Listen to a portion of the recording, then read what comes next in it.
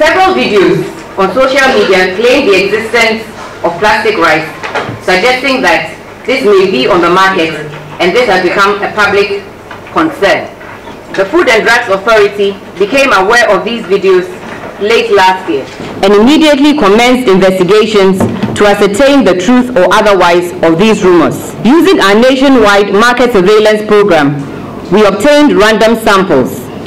The FDA then went ahead to issue a press statement requesting members of the public to assist either by submitting samples of the rumored plastic rice or by giving information as to where it could be found. We subjected all these samples received to the laboratory for laboratory investigation. Results from the laboratory analysis indicated that all the samples were in fact authentic real rice and not plastic. In keeping with our regulatory practice, we contacted our international partner who was conducting investigations into the same issue. The INFOSAN work revealed that rumored artificial, plastic or fake rice appearing in Singapore, Nigeria and Canada turned out to be real, authentic rice. The rumor of plastic rice is not peculiar to Ghana. There have been reports in the international media concerning plastic rice in Nigeria.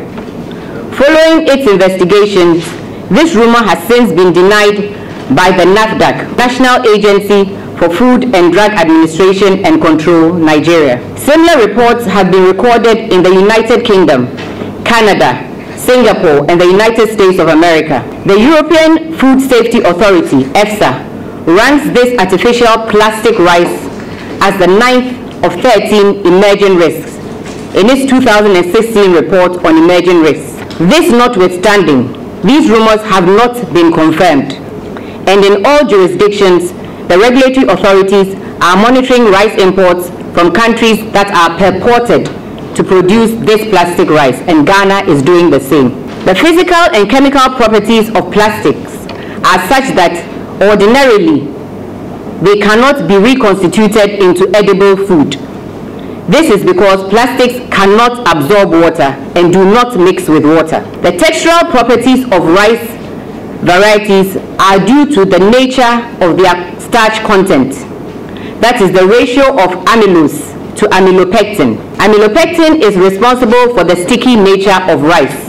This character of starch in rice enables cooked rice grains to come together or to stick or to agglomerate and allows it to be kneaded into a malleable sphere that can bounce off hard surfaces as is depicted in some of the videos that you see on social media.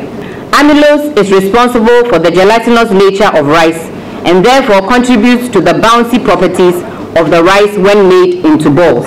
The varieties of rice that contain a higher quantity of amylose will produce greater bounce while those with higher amylopectin will bounce less.